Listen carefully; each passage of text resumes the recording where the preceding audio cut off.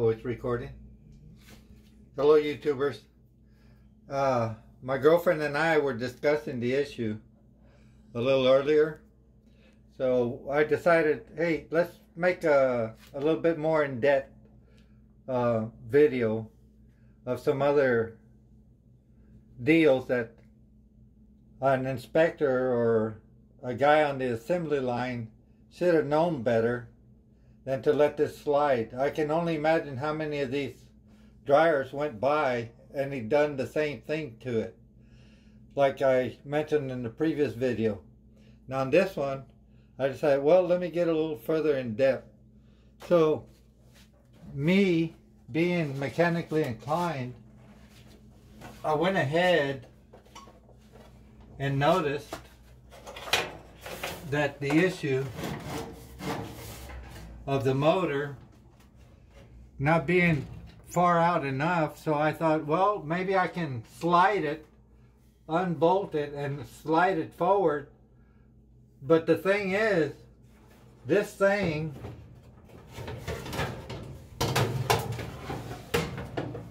as you can see it's got two holes and two slots here. So this motor is set in a certain position that being the case, the guy that put this together, or a girl, whoever was on the line, putting these things together, I mean, the thing is set.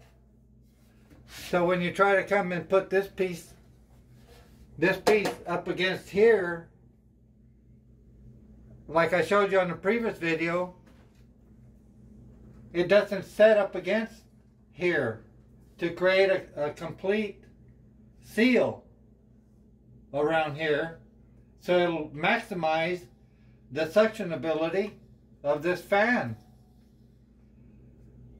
Maybe the cause of what made this thing get hot, but made this thing get hot, or hotter than it should be, creating the, the thing to trip. Or these, I, I, I really can't tell you because I metered these and they were they were they were uh, open circuits. And uh, another issue we thought of, uh, well, I thought of was this.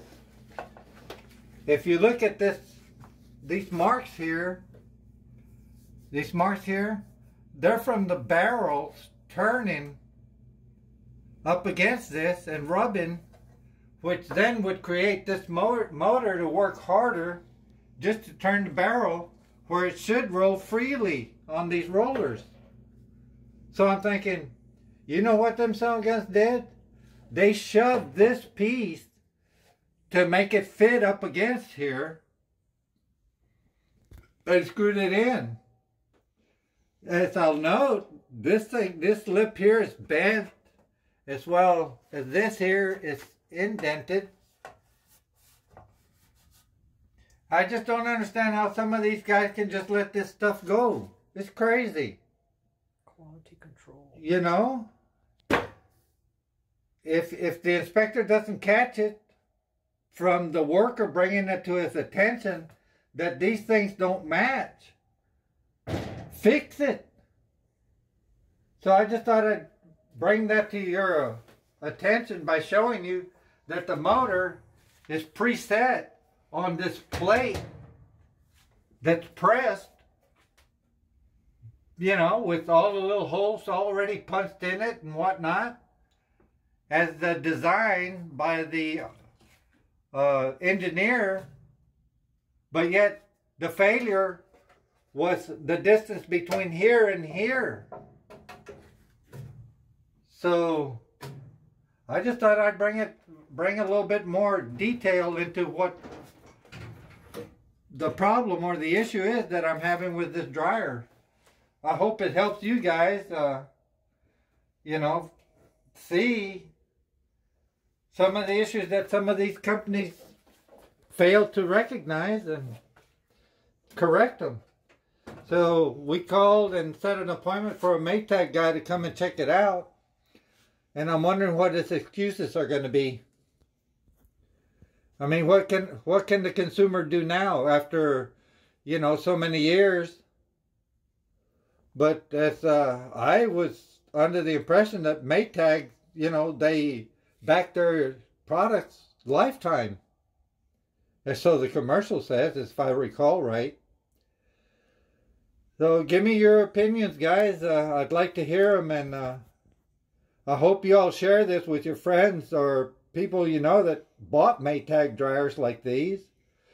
and maybe had the same. I mean, you know, uh, a dollar is a dollar, and if you got to work your butt off and sweat your ass off to make that dollar, and you go and buy something that's expensive, and you're under the impression that they're they're good or the best on the market, per se, they're commercials and whatnot.